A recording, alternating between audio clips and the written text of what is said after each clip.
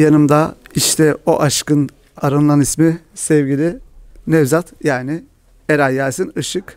Abi hoş geldin. Hoş bulduk. Siz hoş geldiniz Bektaş. Benim mekandayız. Abi bu Nevzat Sunu aşkı birazcık da sessiz konuşuyorum kusura bakma. Abi nasıl böyle oldu ya? Böyle bayağı bir herhalde Nazlı Vergün'den sonra gelen ikinci büyük aşk oldu bence. Yok canım öyle diyemeyiz. Nazlı ile Ergun her zaman bizim çok böyle sevdiğimiz bir çiftlerdi. Ama e, Nevzat'la Sunan'ın aşkının da bence bu kadar sevilmesinin sebebi bir türlü kavuşamıyor olmaları.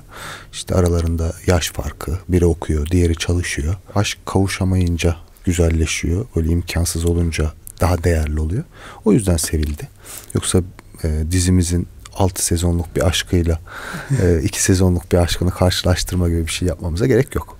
Ee, İkisinde çünkü farklı tarafları var. Nazlı bir e, ev kızı abisinin arkadaşına aşık. E, Ergun içinde komşusunun kızına aşık olan bir e, aşk vardı orada. Oranın öyle bir çatışması vardı.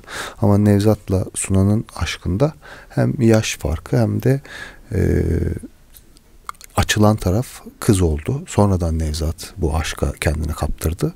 Farklı aşklar diyebiliriz. 80'lerin senaristlerinden birisin sen de. Bu aşkın bu kadar e, tutacağını, insanların bu kadar bunu seveceğini tahmin etmiş miydin? Ettim ya. evet, aslında biraz da bunu onun için. Çünkü Nevzat e, 8 sezon boyunca hiç aşkına kavuşamamış bir adamdı.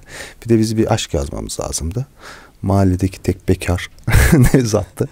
Dedik ki tamam ben buraya güzel bir imkansız aşk yazarsak buradan yürürüz dedik. Çünkü Eda Akalın da çok yetenekli, enerjisi iyi bir oyuncu.